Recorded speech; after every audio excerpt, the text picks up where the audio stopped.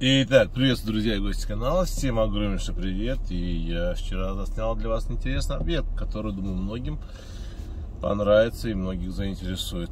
Я его как-то снимал, там были большие квартиры, ну реально были большие квартиры. И как сказала девочка с отдела продаж, не нравятся нашим покупателям большие квартиры. Нет, большие квартиры нравятся всем. Только дебилу не может нравиться нормальная большая квартира а покупают студию в Сочи не потому, что им не хочется жить в 100 квадратных метрах, а потому что, ну как кто мне скажет, правильно, потому что квадратный метр стоит черт знает сколько.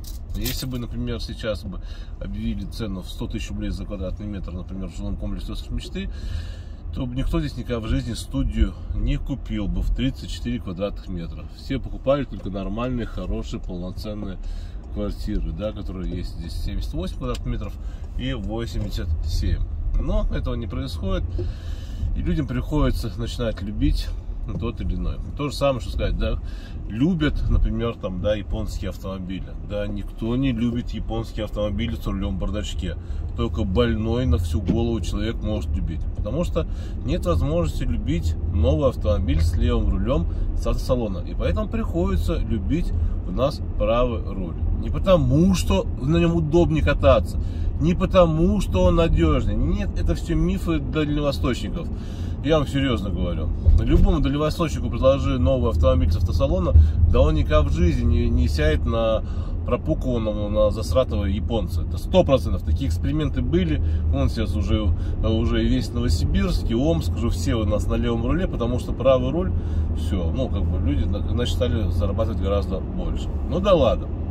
В общем, снял я вам хороший комплекс, там последние даже остались квартиры большие, как положено, а остальные квартиры взяли и разделили, как в свое время разделили у нас квартиры в жилом комплексе Паре Горького, как в свое время разделили квартиры у нас в жилом комплексе э, Остров Мечты и так далее. Поэтому, короче, сегодня вы у меня на канале увидите. Но мы с вами потихонечку продолжаем наш новостной блог. А тем временем температура в Сочи планирует побить очередной рекорд. Потому что, как вы догадались, да, э, лето довольно-таки жаркое у нас получилось. То есть лето было не очень жаркое, а вот осень говорит, что будет просто бомбическое. Знаете, такое бомбическо-порнографическое будет. Ну, об этом люди говорят. И, в общем, посмотрим. В общем, э, бархатный сезон будет классно. Хотя вот сказали, блин, конечно же, вода в море стала холодная. Если она была совсем недавно 27-28 градусов, сейчас 25 градусов. Но, ребят, на секундочку, в июне она была 21-22 градуса. В любом случае, сейчас купаться все равно комфортней. Даже если 25 градусов, я считаю, это даже гораздо круче, чем, например, не знаю, там, короче, нормально. Вон, Волга, плюс 16 градусов. Тем временем еще один крупный отель с пляжем срочно продают в Сочи. И это у нас отель ну, лучезарный, который находится в Хостинском районе. У них есть собственный пляж. В общем, я думаю, все равно их купят. Там стартовая цена лота 200 миллионов рублей. Торги. Все. Единственное, что многих отпугивает, то, что э, администрация судилась э, все с этим отелем, потому что типа они не целевое использование земли, что-то еще, короче. Ну, администрация везде проиграла, но все равно пытается как-то этот отель отжать себе. А тем временем отель Звездный, который находится в центре, ну, как бы в Заречном районе, тоже выставили на продажу. Продает его Ленинградская область. Вот как бы так ему принадлежит. Поэтому отель Звездный тоже продают. И, скорее всего, скоро там будут самые дорогие апартаменты. Если сейчас в Монтелло самые дорогие апартаменты, да, там 3 миллиона рублей за квадратный метр. Но я думаю, что расположение у Звездного на голову лучше, инфраструктура Звездного гораздо интереснее. Поэтому вот как бы так все распродают, все отели распродаются с молотка. Непонятно зачем. Ну и что? А, иди куда хочешь. Вот тебя послали на, вот иди куда. Вот, в общем, вы за 2500 рублей можете купить единый билет и сразу оказаться и на Рузахутор, и на Альпике, и, конечно же, на Газпроме, и, конечно же, на Красной Поляне. В общем, посетить самые высокие точки. И вот осенью это, наверное, то самое лучшее время для того, чтобы вы могли вот как раз в горы сходить. Потому что, знаете, когда ты поднимаешься в гору, ты проходишь все времена года.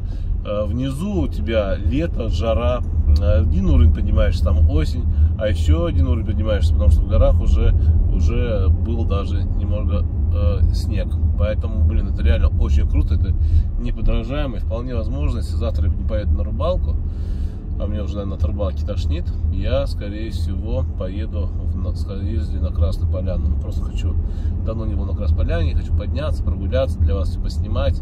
Ну, в общем, реально круто. Покажу, за что любят Красную Поляну. Ну что, идем дальше. Идем дальше, идем дальше. В России упростят механизмы изъятия неиспользуемых земель. Ну, например, взяли в долгосрочную аренду города землю, да, соответственно, э, раньше, если там в течение трех лет вы ее, ну, они ничего не построили, значит, там могут изымать, там, еще это все сложно, так, все сейчас будет, будет гораздо проще. Тем самым хотят, это подписал нас приказ Мишустин, тем самым э, те земли, которые сейчас в Сочи бесхозно есть, их легко государство себе отнимет. Ну, что, все делается для того, чтобы навести, наверное, порядок, в кавычках, не знаю.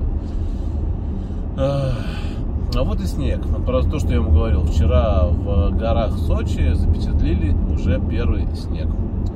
А Бузова тем временем подвинулась к Типача в ресторане Сочи. В общем, вышла Бузова в спортивном костюме, не накрашенная. Не накрашенная она, она оказывается такая, и без фильтров такая, ну, ну, ну не такая, которую я привык видеть. Ну, такая. Ну, не совсем такая, но такая. И, в общем, ну ничего, ну вышла, потанцевала, видно, что она, мягко говоря, любит выпить. Поэтому я передумал жениться на Бузовой, потому что мне жена алкашка не нужна. И, ну, в общем, все. Все, любовь прошла. Любовь прошла, все прошла. В общем, как бы так. Ну и тем временем, как бы, ну, подвинул скрипача. И тут же пытается обсудить дом Сочи, который она, ну, соответственно, купила ну, сразу скажу, блин, ну, как бы задолбали, как бы, э, все там обсуждать, там уже там Водонаева, говорит, да какой дом, говорит, на Красной Поляне за 35 миллионов, я, говорит, квартиру, говорит, купила, говорит, с двухкомнатной в Сталинике, говорит, а это, говорит, дом на Красной Поляне, что за херню-то вы несете?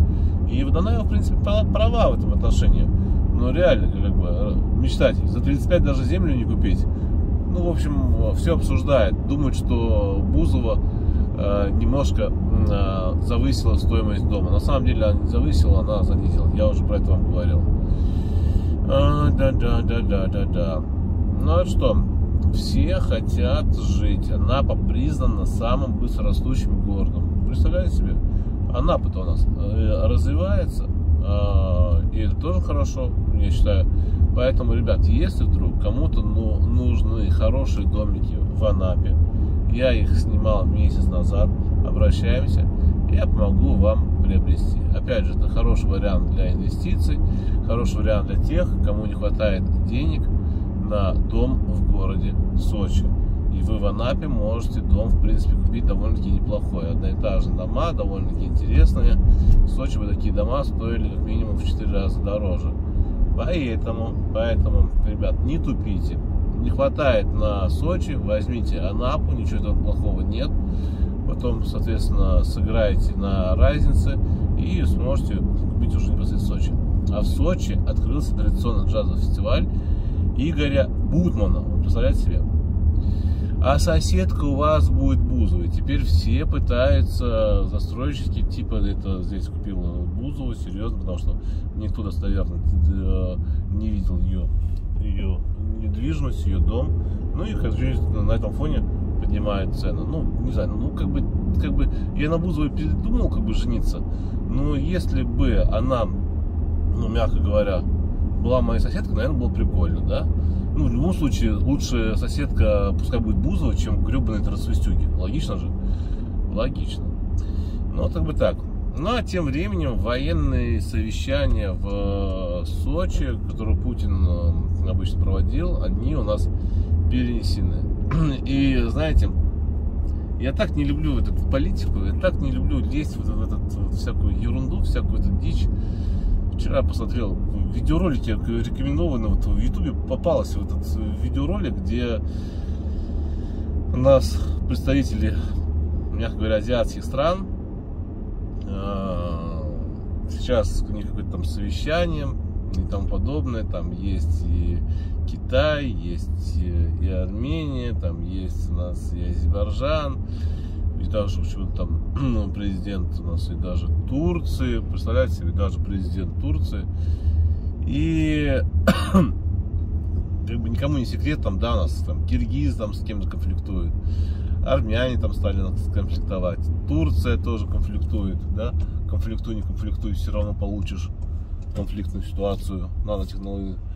И при этом, как бы, ну, при всем при этом, да, э, я что удивился, э, сидят, да, и тут, по сути, везде, куда ни плюнь, везде происходит спецоперация, нельзя же говорить по-другому. А там сидят и на, на совещание вместо того, там, чтобы там, не знаю, что там решить, обсудить, берут и травят э, анекдоты, да, реально анекдоты, все ржут. И а что здесь, парковки нет что ли? Ну ладно, сделаем еще один круг почета. И травят эти анекдоты и тому подобное. Ну и как-то это выглядит, наверное, не очень хорошо. Это все равно, что, знаете, как бы идут похороны, да, а тут берешь, встаешь. Итак, а сейчас я расскажу анекдот. В общем, хоронят наркомана и в таком духе. И тут, наверное, выглядело то же самое. Э, самое главное, что самый такой, скажем, заводил, это оказался у нас э, Эрдоган. Эрдоган, да? Ну, Эрдоган ну, весел ему по барабану. Конечно, я, видите, как бы власть нельзя у нас нашу власть критиковать, правильно же? Поэтому скажу, вот, Эрдоган.